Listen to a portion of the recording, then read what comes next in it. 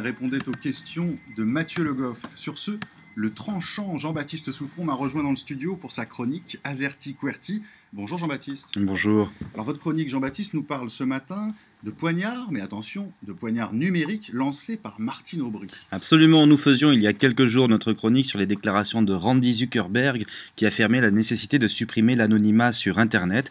Eh bien, via la personne de Martine Aubry, l'actualité nous apporte une preuve que ces déclarations étaient peut-être exagérées.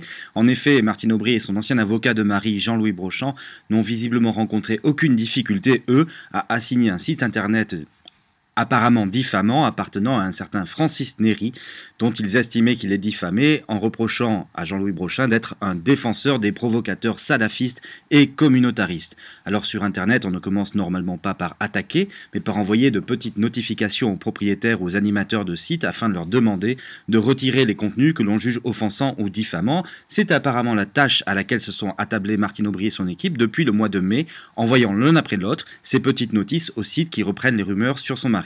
Ce n'est pas la première fois, vous le savez, qu'un homme politique est victime d'une rumeur online et que la justice lui apparaît comme, une solution.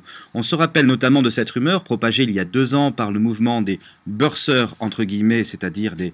C'est difficile à traduire, mais les, les, gens qui s'intéressent à la naissance euh, aux États-Unis, lesquels demandaient à Barack Obama de démontrer qu'il était bel et bien né aux États-Unis, condition nécessaire pour pouvoir être élu président, mais Ensuite, ils lui ont également demandé de démontrer que les papiers d'identité qu'il venait de produire étaient bien de vrais papiers.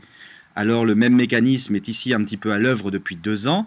Euh, c'est un avocat, Marc Lipskier, sur Facebook par exemple, qui fait remarquer que c'est tout de même classique de euh, voir assimiler un avocat à ses clients et qui ne s'étonne pas euh, et qui ne s'étonne pas que ce soit quelque chose qui soit repris par des mouvements extrémistes.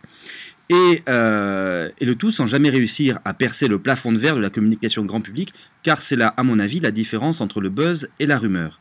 Le buzz, lui, s'appuie sur des faits qui sont transmis de façon rapide entre internautes pressés d'être le premier à pouvoir les annoncer à ses amis, soit par le biais d'un article de blog, soit par des messages de statut sur les réseaux sociaux. Au contraire, la rumeur, elle, s'appuie sur des non-faits qui sont transmis de façon très lente entre internautes qui ne se revendiquent jamais d'être les premiers à les annoncer. Et elle se déplace surtout sur les non-lieux que sont les forums de discussion ou les chats de messagerie instantanée.